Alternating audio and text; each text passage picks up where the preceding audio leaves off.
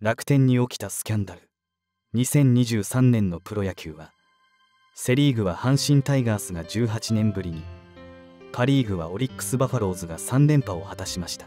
そして日本シリーズは1964年の南海対阪神以来59年ぶりとなる関西ダービーとして盛り上がり阪神が1985年以来2度目の日本一で幕を閉じました。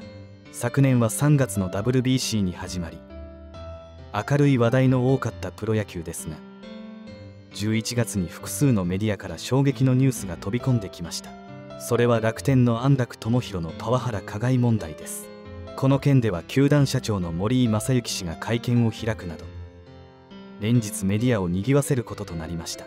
この状況下にあって楽天の首相を務める浅村秀人の発言に注目が集まっています。浅村の本音とチームメイトに語った本音について探っていきたいと思います。安楽によるパワハラ問題。試合前には敵チームにいる高校。大学の先輩へ挨拶に行くなど。高校時代から続く上下関係が色濃く残る現代の日本プロ野球。しかし後輩を食事に連れて行ったり。初勝利やタイトル獲得時には贈り物をするなど良い面もある一方で。行き過ぎた行為に発展することがあります。それが昨年11月に発覚した楽天安楽のパワハラ加害問題です。安楽は後輩に対し暴言を吐いたり罰金と称して金銭を要求したりと先輩の立場を使った後輩へのパワハラ行動が露呈しました。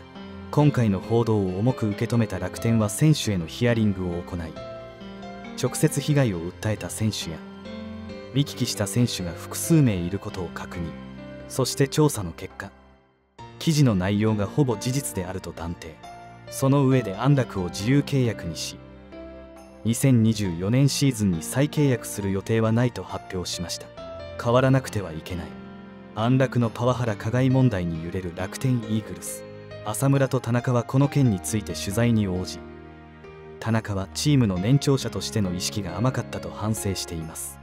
と話し浅村も球団選手としてあってはならない。と危機感をあらわにしました。そして浅村は11月29日に契約公開に臨み改めて自身の考えを述べました。浅村は昨シーズンは5月上旬まで打率が1割台と低迷。しかし夏以降は復調し7月には月間打率3割9分5厘。9本塁打の活躍で月間 MVP に選出されるなど終わってみれば打率2割7分4厘。26本塁打でロッテのポランコ。ソフトバンクの近藤と並び本塁打王に輝きました。この結果を受け現状維持の年俸5億円で契約公開さらに今シーズンから野手のキャプテンを務めることとなった浅村は会見の席で今年は新しい風が入ってきた。そこでもっとチームが変わらないと楽天は強くならないとずっと思っている。と話し続けてまとめるというか勝たないとチーム全員が同じ方向を向けない。まとまる要因は勝つことが一番。そして最後はみんなで優勝の喜びを味わいたい。と話しました。FA 権を行使するのか。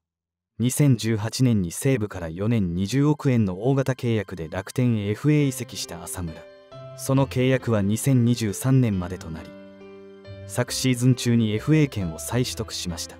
また同時にメジャーでも活躍した田中将大も FA 権を取得。優勝を目指す楽天にとってなくてはならない選手の FA 権取得について石井 GM は2人とも必要な選手。もちろん契約に向けての話はしている。と残留要請していることを明らかにしました。毎年安定した結果を残す投打の軸を担う2人の動向は他球団からも注視されています。そして昨年11月浅村は FA 権を行使せず改めて4年契約を結び残留することを発表しました。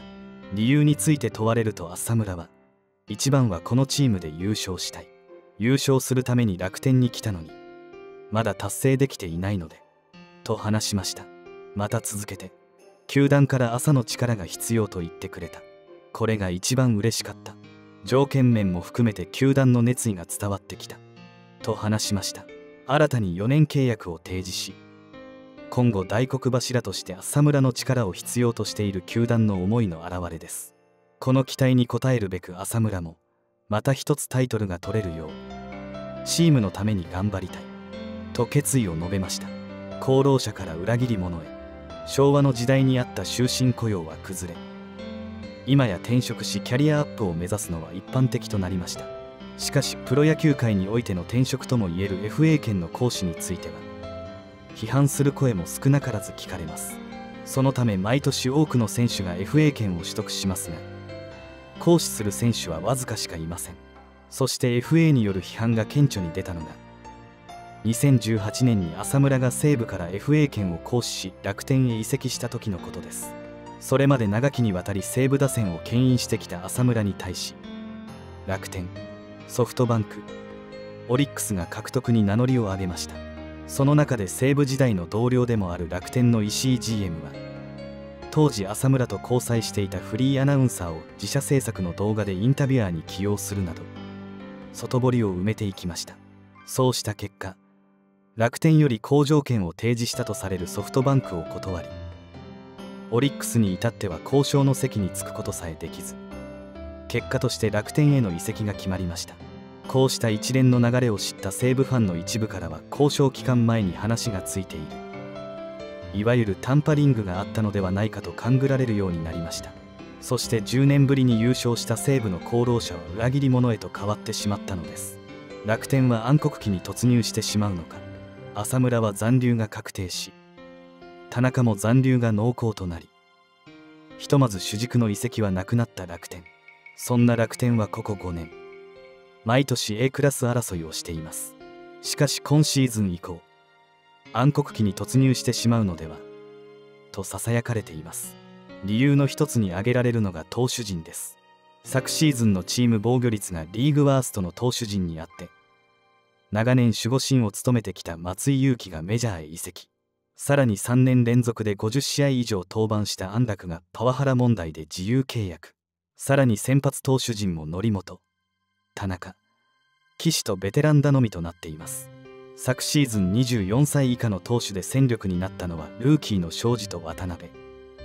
そして高卒3年目の内くらいと世代交代が進んでいないのが現状です。また打撃陣は得点数や打率はリーグトップクラスとはいえ主軸は浅村を筆頭に33歳以上の選手が多くこちらもベテラン依存が強いです。また頼みの外国人選手も。過去3年間で規定打席に到達した選手はおらず投手もソンとブセニッツくらいしか機能した選手がいません。そのため記者からは楽天は暗黒期に突入するのではとささやかれています。これについては首相の浅村も若手の選手がどんどん出てきてチームが変わらないといけないと若手選手への奮起を促しています。そんな楽天ですが昨シーズンには将来が楽しみな選手も出てきました。今シーズンへの期待。楽天へ移籍して5年目を迎えた浅村は昨シーズン序盤は打撃が振るわずそれに伴いチームも低迷。一時は借金が13にまで増え最下位を争う時期もありました。しかし夏場に入ると浅村も調子を取り戻し同時にチームも息を吹き返しました。結果借金1の4位で昨シーズンを終えました。夏以降チームの好調を支えたのは浅村らベテランに加え2人のドラフト7位コンビの活躍にありました。1人目が7月には13試合連続安打を記録した村林樹です。これまでは主に守備固め要員としての出場が多かったものの昨シーズンは打撃が開花し一気にショートのレギュラーを奪取しました。そしてもう1人が6月に月間打率。3割4分1厘を記録した小郷優也です。一昨年は10試合の出場にとどまったものの昨年は120試合に出場するなど外野のレギュラーをつかむ活躍を見せました。さらに小深田が盗塁王を獲得するなど若い世代の活躍が目立った昨年の楽天イーグルス。若い世代の台頭を浅村は新しい風と呼びその新しい風が球団創設20周年のメモリアルイヤーとなる今シーズンの優勝への追い風となるのかが注目です。